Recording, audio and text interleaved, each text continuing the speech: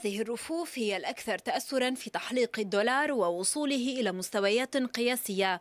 فالسوبر ماركات تغير تسعيرتها أقله مرة يوميا والسبب القفزات المتتالية والكبيرة لسعر الصرف واللوائح المتغيرة من التجار.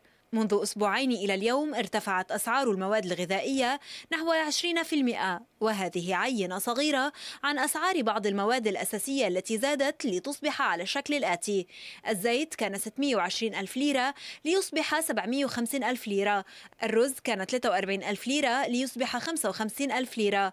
الحليب كان 175 ألف ليرة ليصبح 335 ألف ليرة. البيض كان 175 ألف ليرة ليصبح 220 ألف ليرة.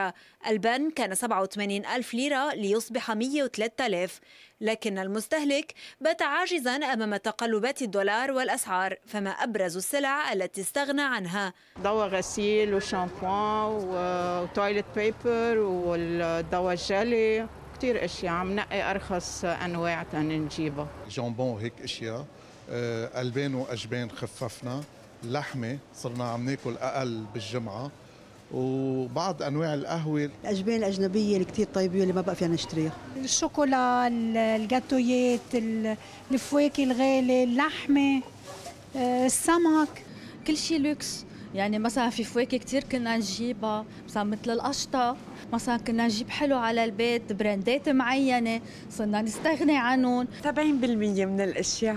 عندك أصناف كثير استغنينا عنها كل شيء بدرسوا كلهم عندهم أي سوبر ماركت بتفوتي عليه عنده اوفرات بتنقي الاوفرات بتنتقل بتنقلي على ثاني سوبر ماركت. بعد معاينة ميدانية. يبدو أن المستهلك بدأ يتخلى حتى عن المواد الأساسية التي يستهلكها يوم